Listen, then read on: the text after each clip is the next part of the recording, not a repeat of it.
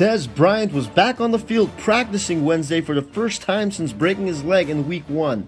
The Dallas Cowboys receiver is expected to play when his team takes on the Seattle Seahawks in Big D on Sunday afternoon. This bodes well for the struggling Cowboys who've lost four in a row without Dez and quarterback Tony Romo. So, what does this mean for fantasy owners who have Dez? It means start him. Yes, he's coming off a broken leg injury fairly early, but even a not fully recovered Bryant is better than any other receiving option Dallas has. Plus, despite throwing three picks in Sunday's loss against the New York Giants, Matt Cassel showed he can successfully air it out, unlike Brandon Weeden. Cassel went 5 for 7 for 134 yards and a touchdown on deep balls.